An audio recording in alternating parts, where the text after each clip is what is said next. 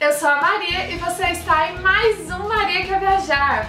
Hoje é o dia 24 do Desafio Criativo, tá quase acabando!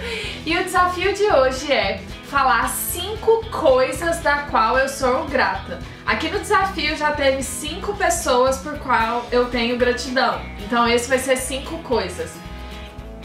Vamos falar sobre isso.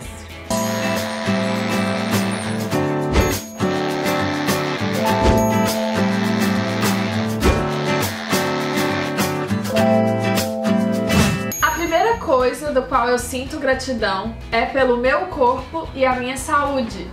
Eu sou muito grata por ser muito saudável, por não estar, tá, sabe, por andar direito, por enxergar bem, por falar bem, por ouvir bem.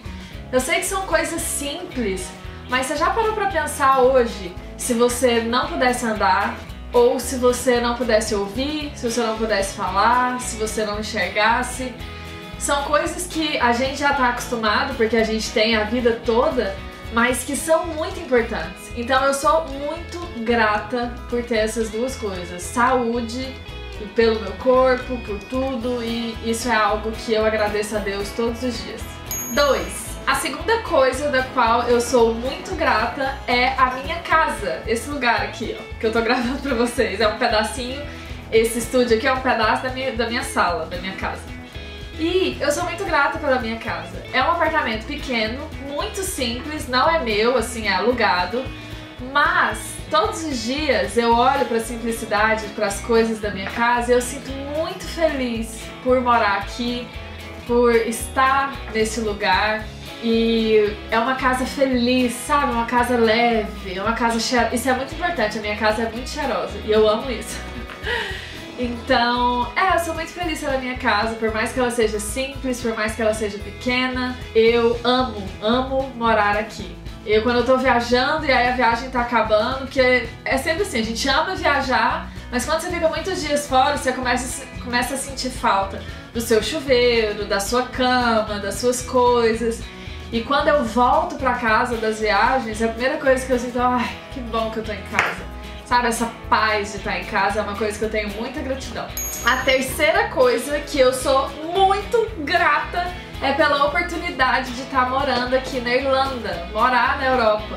É uma coisa que eu sempre quis, não tô falando mal do Brasil. O Brasil é um país abençoado, eu amo o meu país. Eu sei que nós temos vários problemas, eu não vou ser aqui hipócrita de falar, ah, o país é maravilhoso, o Brasil é um sonho, etc e tal. Não, nós temos nossos problemas, nós temos muitas coisas que não nos deixam felizes em relação ao nosso país. Mas eu sempre tive um sonho de morar num local onde fosse muito fácil e possível viajar mais. E aqui em Dublin, na Irlanda, eu consigo por voos low cost, Ryanair, Aer Lingus, essas companhias de voos mais baratos, eu consigo viajar muito e muito mais barato. Eu vou daqui para Londres por 30 euros, daqui para Paris por 20, 30 euros também, para Escócia. Então assim, eu consigo viajar aqui em volta muito de uma forma mais barata. Eu aprendi uma nova língua, né? Agora eu não sou fluente no inglês, eu acho que nunca vou ser, eu sempre vou ter ali uma coisa para estudar e para melhorar. Mas o fato de estar tá morando aqui e sair na rua e conversar em inglês com outras pessoas, normal, sabe? Nossa, isso é muito, muito, muito bom. Nossa, é um sonho que eu realizei que não sei nem explicar o quanto eu sou grata por isso.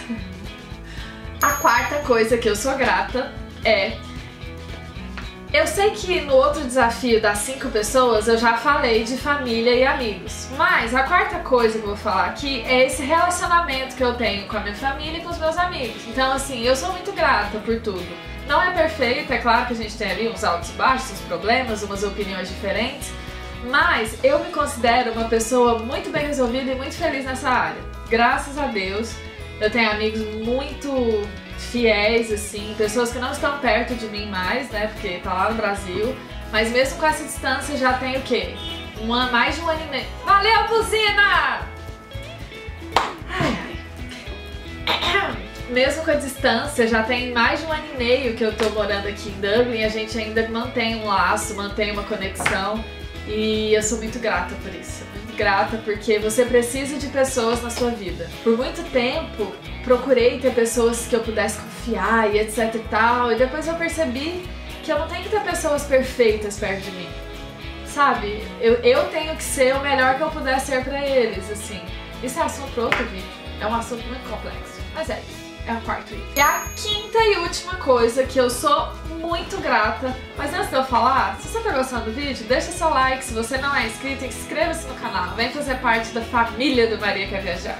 É muito amor, muita positividade, muita viagem, então fica aqui que eu sei que você vai gostar. A quinta e última coisa que eu sou muito grata é por uma característica que eu tenho de não desistir, de persistir, não importa o que aconteça. Eu não sei se você sabe, eu já falei aqui em alguns vídeos, eu tenho depressão.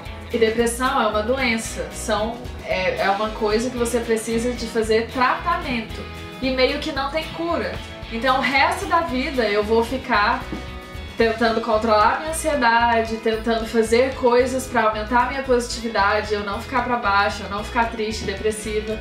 Então, não é um assunto que eu sou expert, então eu posso estar falando besteira, eu tô falando da minha experiência de vida. E mesmo tendo esses dias horríveis que às vezes a depressão traz, você não precisa de um motivo para estar triste ou ansioso. Você simplesmente tá. Tem dia que você acorda e você tá sentindo nada, sabe?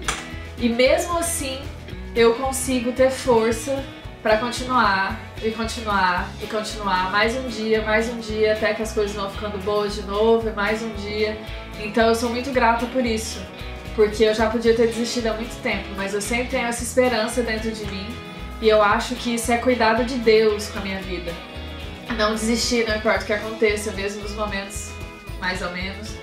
E é isso. Esse foi o vídeo de hoje. Tô muito empolgada que o desafio tá quase acabando. Então deixa aí nos comentários quais são as 5 coisas do qual você é grato. E amanhã tem vídeo novo de novo. Um beijo